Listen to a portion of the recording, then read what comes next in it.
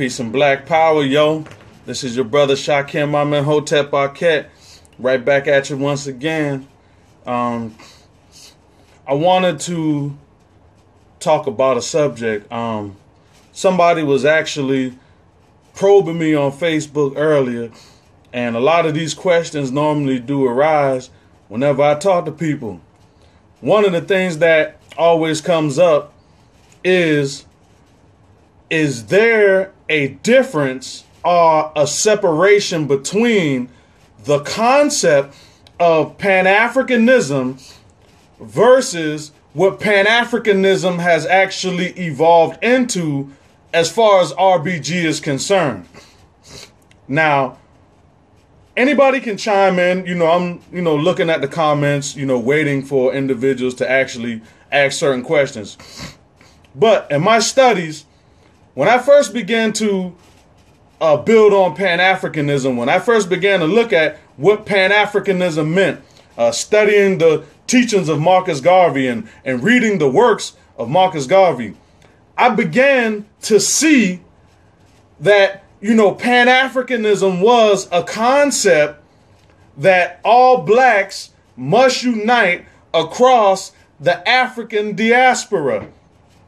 That uniting was not based upon any religious preference. That uniting wasn't based on any sort of political interest other than black first. That ideology wasn't limited or circumscribed to uh, just, you know, anything, food, taste, you know, it, it, it's it was just basically a race first philosophy and understanding that anybody can unite, whether or not you're Christian, whether or not you're Hebrew, whether or not you're Jew, Jew, whether or not you study any one of the ancient indigenous African spiritual systems.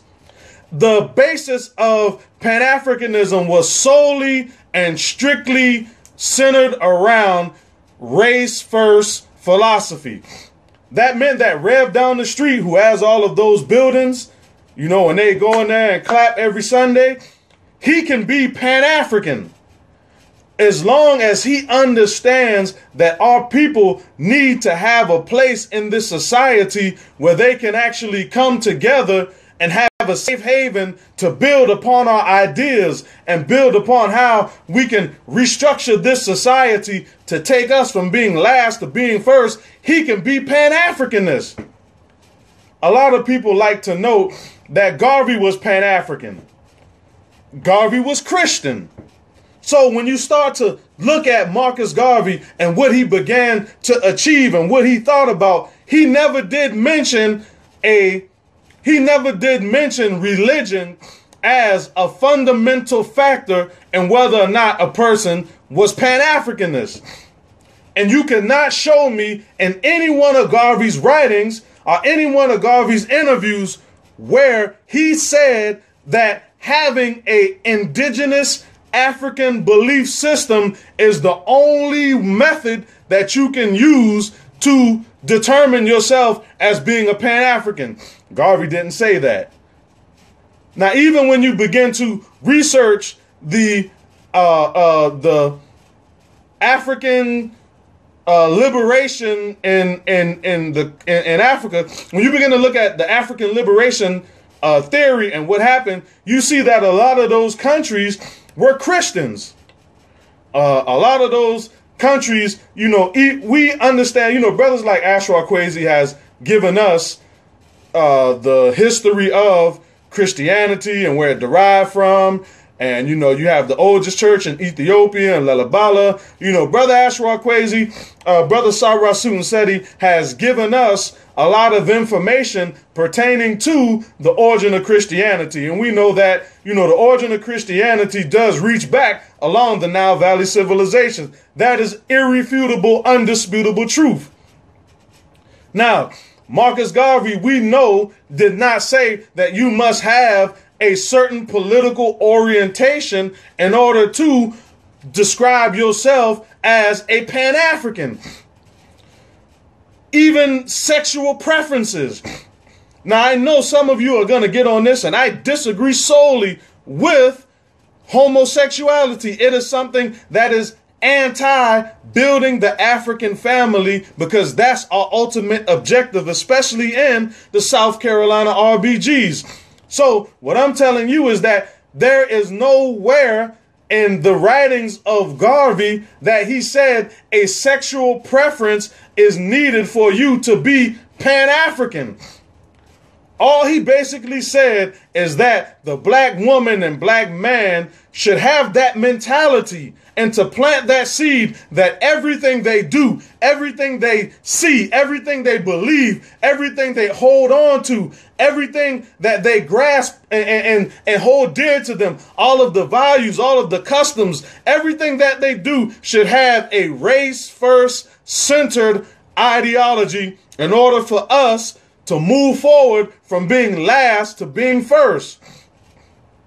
And I would love for somebody to um I would love for somebody to fight me on this. Now, what we have is an is an offshoot of Pan-Africanism when you start looking at RBG, right? Because I consider myself RBG.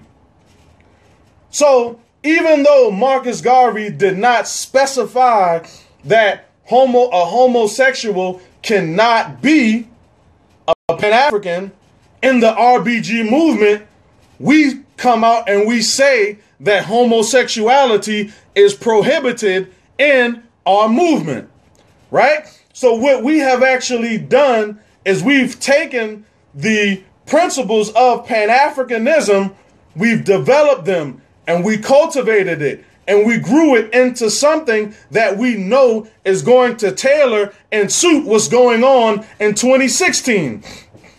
It's just like the Muslim tradition, right? In the Muslim tradition, they have Quran and they have Hadith.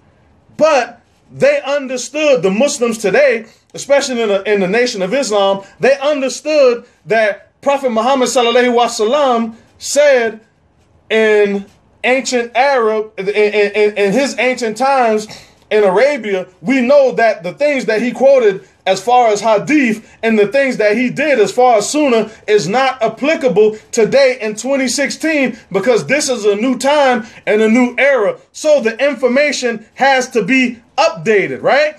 So what we have done is in the RBG movement, we saw that there were some of the issues that Marcus Garvey faced back in the early in the middle 1900s these are not in totality the problems which we have today.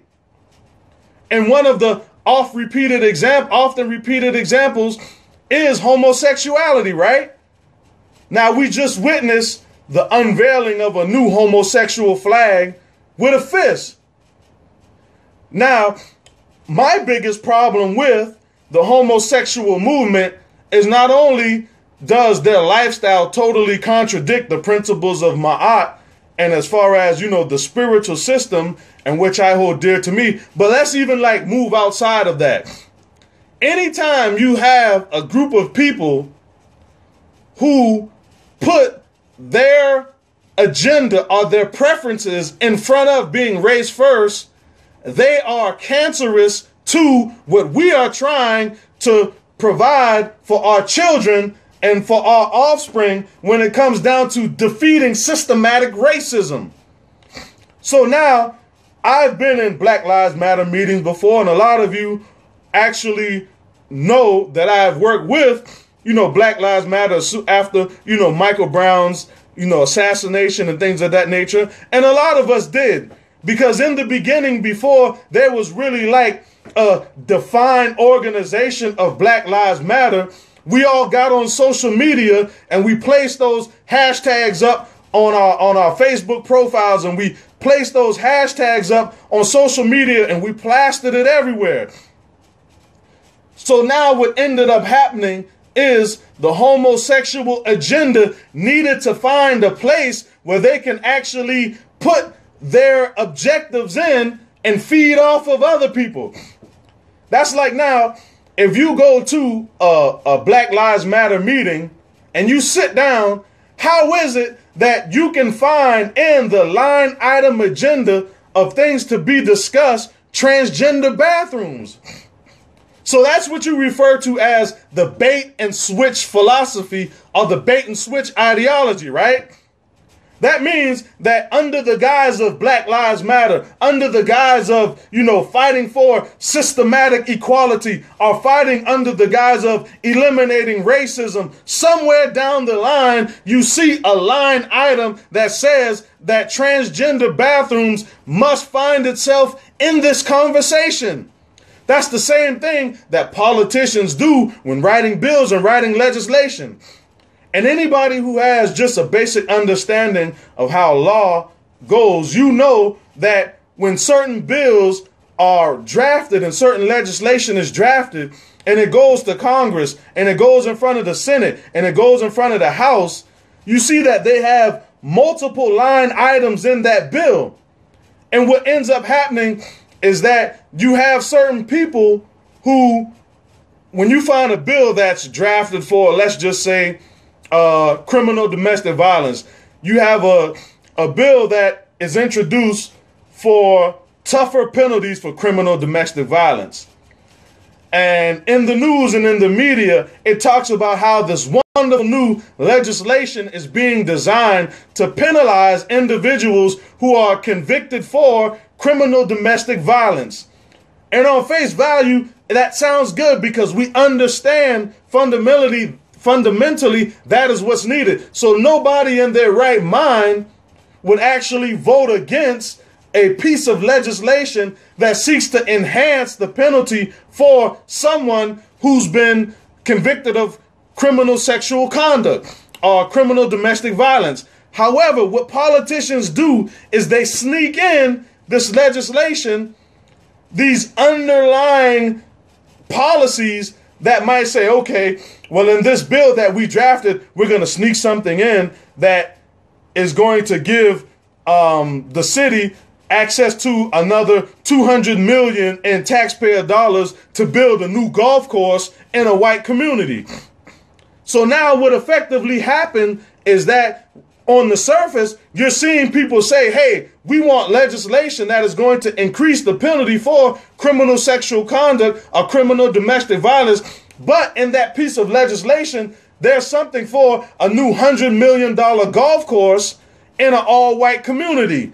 So now the politician is left with his hands tied because if he votes against that bill for the increasing of uh, the penalty for criminal sexual conduct, his colleagues are going to look at him as if he did something wrong, and, the, and whoever's running against him is going to paint him as being insensitive to the needs of the victims of criminal sexual conduct. But in, but in all totality, he has no beef with that. His beef is for the $100 million plan to introduce a new golf course into a white community.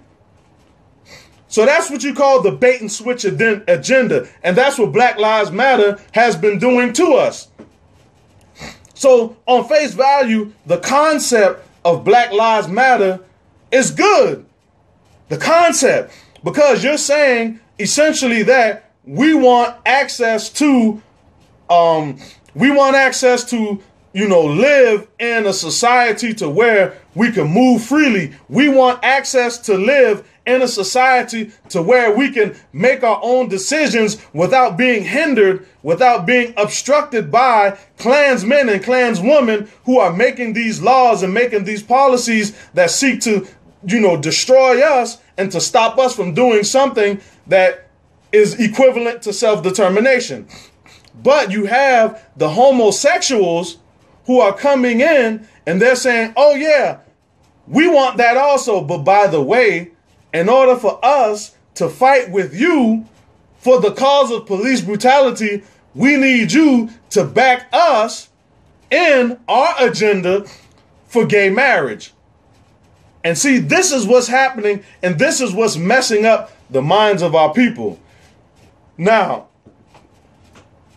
in the RBG movement, we are an African centered movement. That means that there is a lot of hesitancy, and we are really hesitant to embrace certain spiritual ideologies that are lacking in a significant African origin. So if I have someone who, you know, is a Muslim, uh, Sunni, Shia, Nation of Islam, whatever, Hanafi, Hanbali, whatever. If we have somebody who studies these particular religious ideologies, uh, Christianity, you know, Hebrew, whatever, we are hesitant to embrace them because we understand that these ideologies are detrimental to the uniting of African people across the diaspora. Now, I'm going to prove something to you.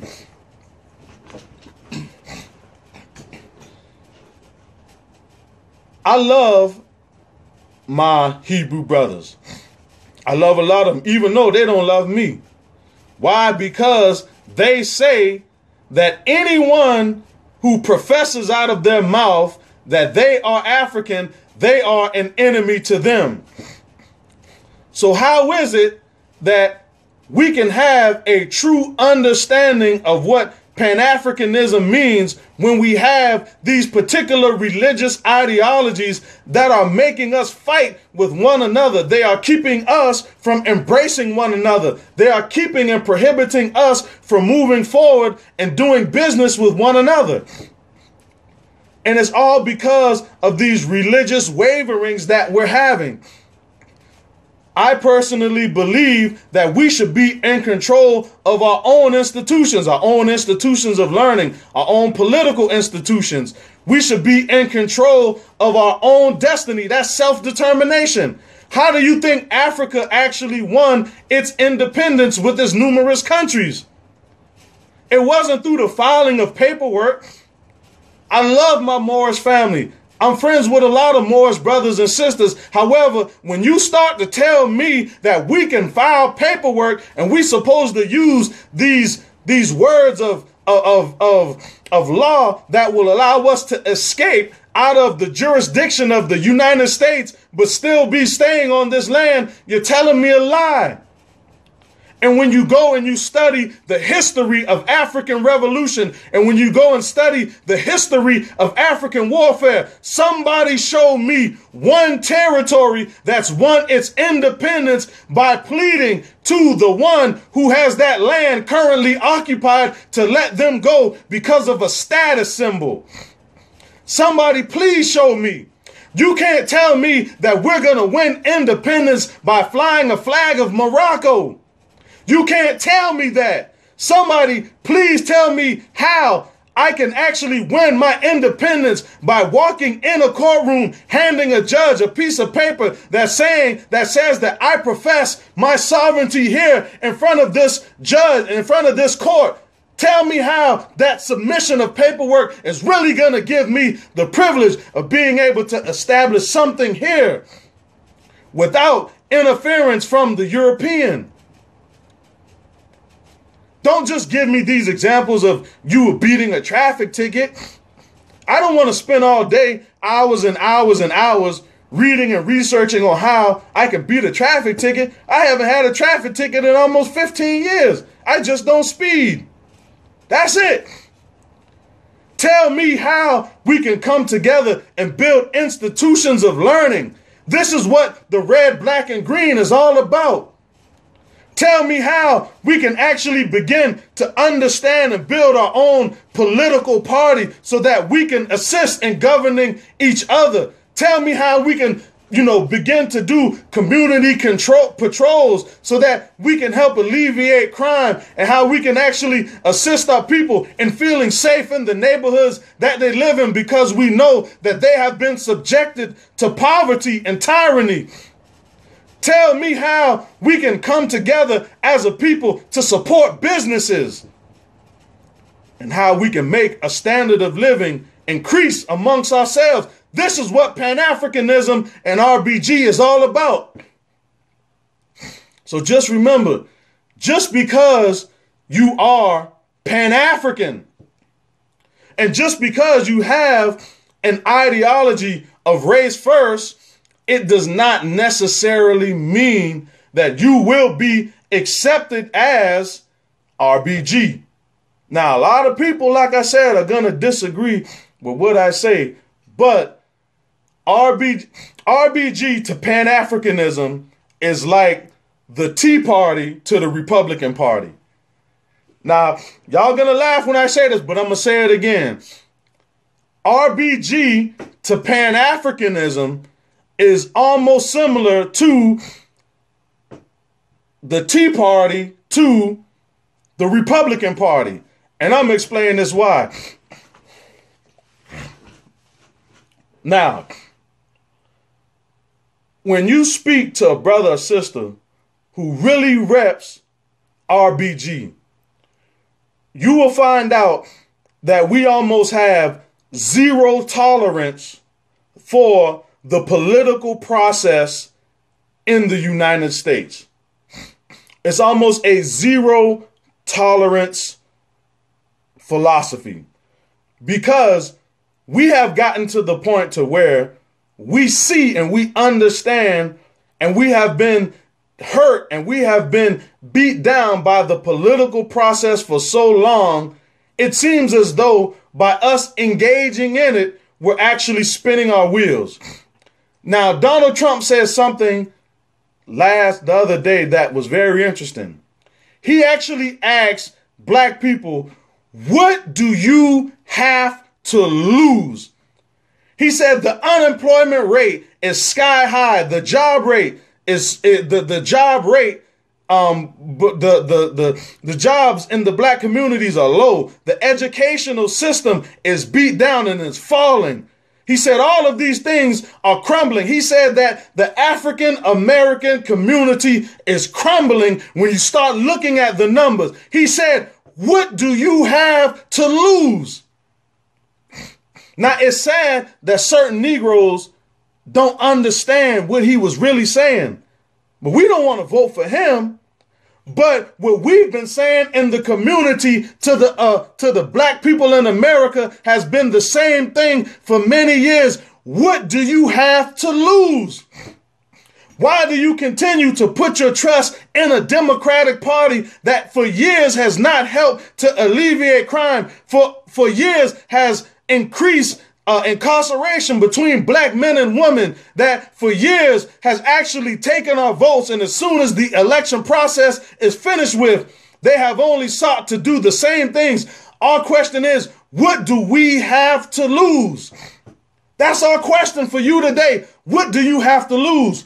And it shouldn't take Donald Trump to ask you that question. What do you have to lose? We've been asking you this question for many, many, many years. A race first philosophy alone is good, but it has to be deeper than a race first philosophy. It almost has to come to a philosophy of race only. Because we have been so far beat down in this in this in this system and in society, we cannot just have a race first philosophy. We have to have a race only philosophy. And that's the difference between the RBG movement and the Pan African movement. We are still our brothers and sisters, but in the RBG system, we have to understand that we need to adopt, to adopt a race only philosophy. So we're just building upon what Marcus Garvey has said. We're just taking his words and applying it to 2016. We're not doing something different, but we're kind of like bringing in or we're streamlining the process. We're streamlining it, right? And that's exactly what we have to do. Let me see. Somebody, oh, the sister. Okay, peace, queen. She said, my five pennies. There are already too many divisions as is RBG. Pan Africanists, Pan African, Black nationalists, all use the same colors. Then there's Nuwapi, Nuwapu, NGE, the metaphysical, all light beings. Let me click see more. The conscious community, or lack thereof, has more denominations than the church. Peace, peace, queen. Um, and that's true. And a lot of times this is just a topic that we're going to have to deal with division, right? We're going to have to deal with divisions and our understanding of what type of avenue that we need to take in order to succeed. My thing is this. What I always tell my brothers and sisters who in the movement here, you know, we have to take a stand on what we believe in and we move and we move forward. I I don't really if people want to move forward with us, then hey, I'm all for it. If you don't want to move for us, guess what? Then you're just gonna have to get rolled over. Because at the end of the day, by me sitting here and debating with or, or trying to get five percenters on the same track, or trying to get Christians on the same track, are trying to get Nuwaubians on the same track. And some of these people are, however, it's so many people out there with fresh minds who are willing to listen and who are willing to learn by you sitting back and talking to these Nuwaubians and trying to get them on the same page or trying to get five percenters on the same page. By the time you finish spinning your wheels messing with these people, we could have been out in the street going and grabbing 100 or 150 people who really don't have any understanding of what consciousness needs to be. And this is how we can grow our own community. So I tell my people a lot of time, we don't even need to waste time with these people who have these divisions. Why am I going to sit back? Uh, uh, one of the Moor brothers have been trying to get me to talk to him and to sit down. And this is a good brother, and I know he's probably watching, but he's been trying to get me for a little while to come and sit down and talk to him about what they believe and and and iron out our differences. But this is the thing: why am I going to iron out my differences? With some people who I know that is not going to do anything for. And this time that I'm sitting here talking to these people about our differences, I could be in the streets in downtown Charleston with some guys who shooting and killing each other and stabbing each other and trying to get them to understand fundamentally what we believe and what we have to offer.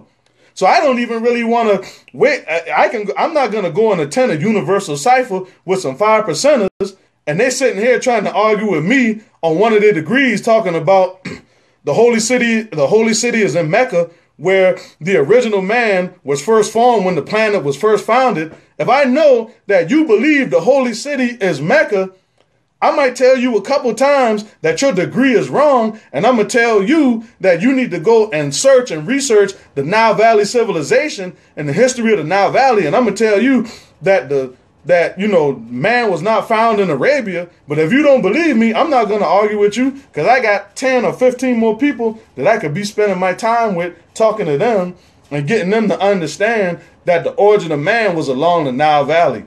And this is where our people actually came from. So, um, okay.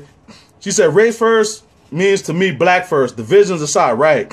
We don't have to be buddy buddy to work, right? Sustain and build a community together, right? Just a common goal, or a few, and that's that's a hundred percent right, Queen. Definitely. So you know, um, we don't all have to be on the same page in order to make process progress, and I believe that the first step is going out into your community and reaching the people do not waste your time begging people and talking to people who already have their mind made up. If people have their mind already made up, leave them alone. Go and get the people who want to listen. Why do you think we go out in the community weekly and go and feed the people? That's what we do. When you see us in these pictures and you see us going in these poor communities, we are going out there trying to feed the people, the homeless people, giving them food, giving them clothes. I'm not sitting here wasting my time going down to the Moorish Science Temple meeting and going building with them. That's a waste of time because people, when people already have their own, see, my mom always used to tell me, you need to pick and choose your battles carefully and pick and choose your battles wisely. I know that everybody is not going to agree with my ideology and my philosophy, but I understand that my philosophy and my ideology is pro black. I'm black first. We want to establish our own institutions of learning. We want to establish, which includes our educational system. We want to establish our own financial system. We want to establish our own political system. So I need to go and find people who I can build with, who can fundamentally understand the message that I'm relaying, and they say, you know what, Shakem, this is what we want to do. Let me grab hold of this information, and I'm willing to roll with you. That is how we build our army and we increase our numbers. We do that by reaching out to people who have not been really tainted. And if they have been tainted, they've always been questioning what they believe for so long, they're willing to lend you an ear.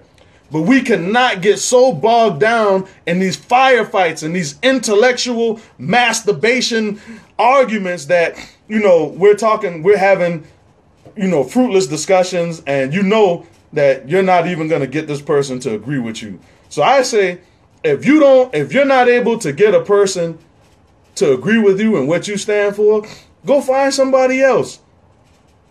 And like I said, we got to respect other people and what they trying to do and what they believe. Just like I put up a post the other day when I was out there feeding the homeless people, and I still got the care package right here because I this was my last one. But and this package, this care package, I had a box of condoms, and I still get it. This is my last one because I saved the last one, and I was pack and I was passing this out, and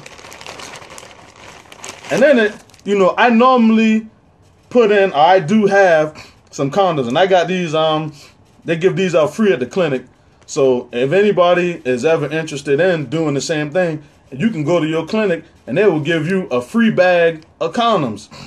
So the thing is, when I put together, when I put together these little um packets to give the homeless people, you know, a little washcloth and you know, dial soap and all of that. So when I give this stuff out to these people, I always throw in a, a um I throw in some condoms. So when I was out there, I had a Christian lady. She said, she said, young man, and you know she was a sister.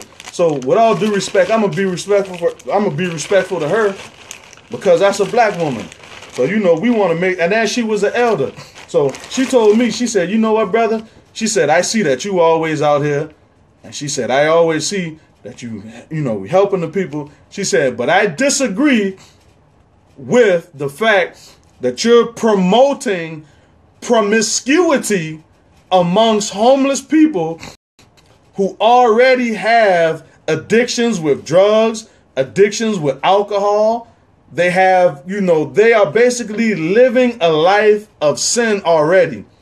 She said, by you handing out condoms is like you actually saying, here, I promote you going and living a life of sin. I understand you're homeless, but I'm just going to go ahead and advocate what you're doing and, you know, by you giving condoms. She said that I should be promoting, if they're not married, for them to abstain from sex because that addiction to sex is actually fueling their mind uh, I would well, okay. She said that addiction to sex, or by them having sex, is distracting them from utilizing the proper methods to get themselves out of homelessness. So it's kind of like you know clouding their minds are real cloudy. So as I sat back and I listened to her, I totally disagree with her because as I told her, I said I felt that whether or not I come and tell a grown person that they should be having sex, it's too late these people are 30 and 40 years old. How can I sit there and tell a grown a grown adult that you shouldn't be having sex? So my thing is to keep them from you know getting STDs and the making babies and these babies have to be born into a life of poverty. I said I go ahead and I go and get a big old box of condoms from the clinic and I go ahead and put these in the um I put these in the in the um and these little um uh, packets I hand out. So you know, we had a discussion about it, and it was clear that she wasn't going to understand what I said. So I just went ahead and I left it alone because there's no reason for me to argue with this lady and to go back and forth with her when I understand this lady is probably 65 years old, she has her mind made up. There's no reason for me to try to change her way of thinking after so long. So I'm going to continue to keep putting condoms in these packets that I'm giving to homeless people. If she doesn't like it, so what? We just disagree. That doesn't mean that I love her any less. That just means that I understand the mentality of the church by us actually being in the church. We know what the church stands for. We understand that they are anti fornication. We understand that they have a philosophy of if you're not married, you shouldn't even have sex. I understand the age bracket that she's in, so I understand her philosophy. So instead of me engaging in a firefight with her verbally, I just understood where she was coming from. I understood the era that she was brought up in, and I understood the church. So therefore, I don't have any beef with her. But, however, I know that in the community here, we are going to give the people what they need in order for them to grow and develop. My thing is, the reason why our communities aren't growing the way how they should is we have to show we're not showing the people that we really truly care about them. We have to find ways to meet the needs of the community before we just start going in the community talking this black power stuff. I can go in the community all day and scream black power and you know and, and the hell with the white man and we need to have our own and we need to do this and we need to do that. That sounds good. But what I've learned from being in the community and having an organization is that when you can go out and successfully meet the needs of the people, when you can go and say, hey, you know, how you doing today, sir? You know, grow a bond with these people. Let them know that you care. Don't just go into communities pushing your agenda. Let them know that you truly have their best interests in mind. That allows you to connect with these people as being human beings. If I go out in the hood and I go out where the homeless people are, are at and I hear them talking about football, I don't go and say football is a game that's used to design, is used to keep our people distracted from the real issues, and it's about sport and play. And I don't just go beating down these homeless people because they're having a conversation on the bench about football. That's stupid. I go and I talk to them about the game that they love, and I might say, Yeah, you know, did you see the game Sunday? Yes. Who's your favorite team? And you start trying to find ways that you can connect with these people to show them that you're actually a real human being. Even if you don't like something that they like, still try to talk to them and understand why is it that they like what they like. You know, we have to grow a bond with these individuals. And and and until we can understand this small concept, we're never going to grow in the numbers that we're supposed to grow because we're not making a connection with the people. You just can't go out there and say black power. Yeah, they can say black power, but what do you know about this person? Do you know about this person's family? Do you know about this person's relationship? Do you know how this person thinks? Do you know what this person's like? I know people right now who sleep out in the bench. I know exactly what type of food they like to eat. I know who likes Church's chicken. I know who likes Taco Bell. I know who likes pizza. I know who likes um, uh, Red Bull energy drinks. I know who want water. I know what type of water they want. I know if they want spring water. I mean, I know everything. I know what type of hand sanitizer certain people like. I understand. I un- when I go and I talk to these homeless people and I see them every week, I know exactly what they like and what they don't like. And the reason why I do that is because I want to show them that I'm not just out here somebody trying to proselytize them or somebody who has a hidden agenda of getting these people on board with me and SCRBG. I'm trying to show these people that there is a group of brothers and sisters out here who really care for you. Ask them, you know, how many children do you have? How old are your children? You know, do they go to school? Are they in college? Sit down and have conversations with these people. And this is how you gain support in the community. That's right. Um, Cardo, you said you got to find ways to understand to overstand. And that's the truth. If somebody comes to me, if somebody comes to me and okay, let's go back to when I was in prison. When I was in prison, I used to have a lot of brothers who would come up to me and say, "Man, big man, you's a savage. You know, all you want to do is watch BET all day and, and go and, and, and play basketball in the in the in the gym and sign up for flag football and all that stuff. And big man, you a savage. That's a they used to call they used to call me savage. Oh, big man, that's all you man, you eating all that stuff, and they used to just beat me down. So of course, I didn't want to listen to anything that they had to say because the brothers in the prison system used to beat me down.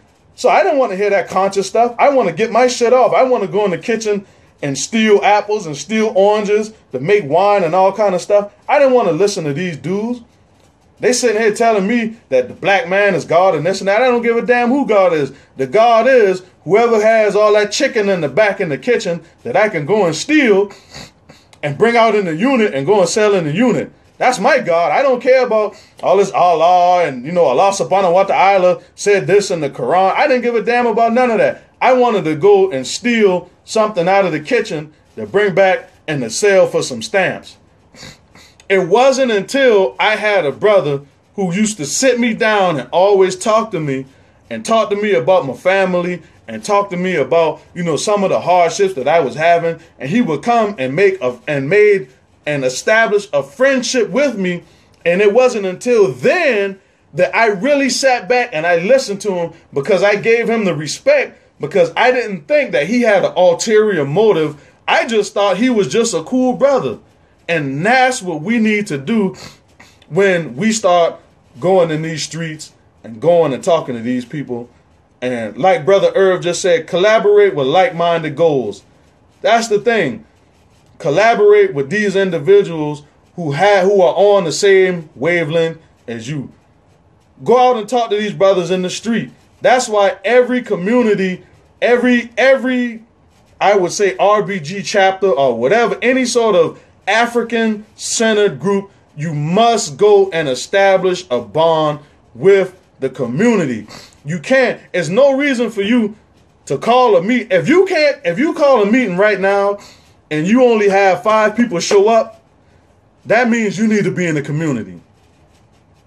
If you have a meeting and I say, okay, I'm gonna do a meeting and I want a meet a community meeting, and you only have four or five people that show up, and these are the same four or five people, that means you need to be in the community. That's all. We got to be in the community 24 7. These people need us and they will listen to you. All you have to do is show these people that you care. That's it. Uh, I know I've been talking, I've been talking so much, um, but I just love actually, you know, giving a word of wisdom to my family. I love talking to y'all, and I love all of y'all. And I know, you know, there's certain things that I do that people disagree with, and there's certain things that I do I don't even agree with. But at the end of the day, what makes us a good people is we can still have our disagreements and we can still embrace each other. That is what's important, and that's what we need to hold on to. We need to stop doing the sneak dissing on Facebook. The sneak dissing on Facebook only causes confusion, discord, and it causes a lot of hurt, pain, frustration, and agony, and it only grows the wedge even more wider in the conscious community because we are making these slick references to other people and we know exactly what we're talking about. So, my challenge for you today is to love each other, to understand each other, to help each other, and to build each other up. That is the only way that we're going to be successful. The brother said, disagree without being disagreeable. That's it. Make sure you go in your community at least once a week. Make a commitment. Go in the community once a week. And I'm a, and I'm a, let me explain something like this. A lot of people, when they inbox me or they talk to me and they say, Shakem, I want to start, you know, I want to start something in my city, but then they're gonna say, you know, the reason why I haven't done such is because I don't have anybody that is on the same page or the like mind. Uh, I don't have someone to do this, I don't have somebody to do that. I understand, and it's very difficult. Now, if you notice and you go back on my Facebook page, when I first started out in the community, a lot of times you would only see me. And it wasn't because I was self centered and it wasn't because I was ag- arrogant or egotistical, because a lot of people have falsely made those claims. Oh, Shakem, he wants all the glory and he wants all of the fame and this and that. No, I was in the community all by myself because that's I was the only person that I knew that would actually go out. So I didn't wait on anybody else. I went by myself. And then once I started going out by myself, I started meeting other individuals who said, you know what? That brother's dedicated. I, I'm willing to do the same things. So I started meeting brothers like Kevin and I started meeting brothers like Talim and the brothers and sisters who we work with now. And that is what helped us grow as a community. But if if you have to if if your desire is is enough to where you will do something and do it by yourself, then start off by yourself. I took a grill, I went and bought 40, 40 or 50 hamburgers from Walmart for like $15 or $20. I went and bought two packs of hot dogs, some hamburger buns, and all of that, and found a couple females with some EBT, and I started going in the hood. That's it. I started going in the neighborhood by myself at first. I didn't make excuses about, oh, well, I need these people to come with me, and why do black people um don't want to come in the community? That's that's a cop out. I didn't wait for nobody to come and help me in the community. I started doing it myself. And then the people who are so arrogant to say, oh, Shakem, it was just arrogant and he's won all the glory. No, it was because I was the only person who was doing it at first. And then I got the crew that came, but I had to show that I was willing to stand up and do what I wanted to do and what I said I was going to do by myself and without anybody else involved. I knew that this was something that I had to do, and that's what I did. So, anybody who is having trouble starting off in your city or in your community and you feel that you don't have the people behind you, do it yourself. Like I said, I could go feed I could go feed 50 or 60 people in the neighborhood for like $30 and go and print out a couple of pamphlets or something and go take a flag out and I can go and talk to a bunch of people and go and just go and get a grill and just let the community know you care. Let the community know that that you know we do have individuals out here who want to see better and want to do something. Don't be scared to go alone. You don't need a group of people to go with you. Do it yourself. And if you take pictures, don't listen to anybody saying, oh, well, you taking pictures for likes and all of that. Don't listen to that rhetoric. When people see that you have someone who's consistent, then that encourages them to grow on and to say, hey, I want to join on to what you're doing. And they'll place that inbox to you. They'll place that phone call to you. Don't sit back and listen to somebody saying, oh, they're doing this for likes and all that. Because you can get more likes posting pictures of naked women all day. So it ain't about the likes. I can go and post a picture with some females twerking and stuff, some twerk videos, and get likes if I just wanted likes. So it ain't about likes. It's about getting people on the same page and letting people know that you have a certain energy that is going to help them. So that's basically all I want to say. I'm finished running my mouth. Uh, I thank everybody for tuning in. I just wanted to get that off my chest. And like I said, um, one of one of the things that I want to leave y'all with is this. In 2009, when I 2009, 2010, because I was in halfway. When I left federal prison, I left prison as a man on a mission. And one of the things that I said, the first thing that I said when I got out of prison, the first thing I said that I was going to do was establish a relationship with my daughter. That was the first thing I said I wanted to do. The second thing that I said that I wanted to do after I established a relationship with my daughter, I said that I want to be the resurrection of Malcolm X in America. That was the first book that was given to me in my journey on a knowledge to sell. But I knew before I can embark on a journey to help liberate my people, I knew that I had to have my home first. I had I knew that I had to have my living situated, my living standards, or uh, my living uh, uh, uh, my living, my living, my house in order. Put it like that. I knew I had to have my house in order. We need to help these brothers that's coming out of prison. The reason why brothers come out of prison and they go back is because a a lot of times they can find a job, but a lot of time it's peer pressure, right? Because, I mean, you can find it. Anybody almost can find a job. It might not be something that you like, but it's still a job. A lot of time brothers come back is because of peer pressure. They they have to go back in the same environment that actually uh, led them or moved them towards a direction of criminal or illicit activity. So when a brother comes home from prison and you go back in the same community that you were selling drugs in, you go back to the same community where you were slanging cracking, when you come back to the same community where you used to rob, where you used to hustle, it's almost like a crack addict saying that he's recovering, but yet and still has crack pipes laying around his house. It doesn't work. What we have to do is make sure we can catch a lot of these young, powerful warriors coming out of prison and we embrace them. That is what we need to do.